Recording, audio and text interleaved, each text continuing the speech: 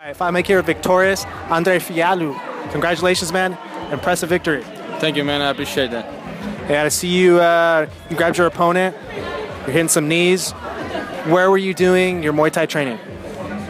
Uh, I train at AKA, man. We train MMA. We, we focus everything: uh, kicks, punches, everything. I, I train at AKA. Big fight coming up with one of your teammates, Luke Rockhold. He's fighting Chris Weidman. What do you think is gonna happen in that fight again?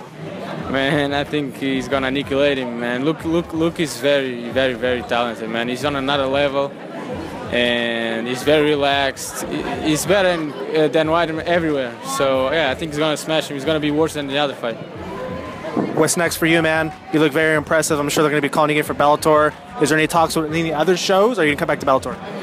Uh, no, uh, my contract is Bellator. Uh, I'm gonna handle business with Bellator. We'll see what's next. I'm, I look forward to it, man.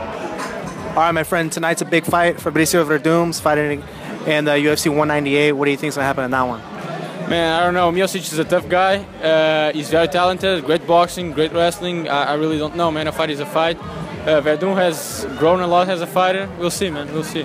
Cool. Thank you very much for your time. I look forward to seeing you fight again, man. You look very impressive. My pleasure, man. All right, thank you, bud.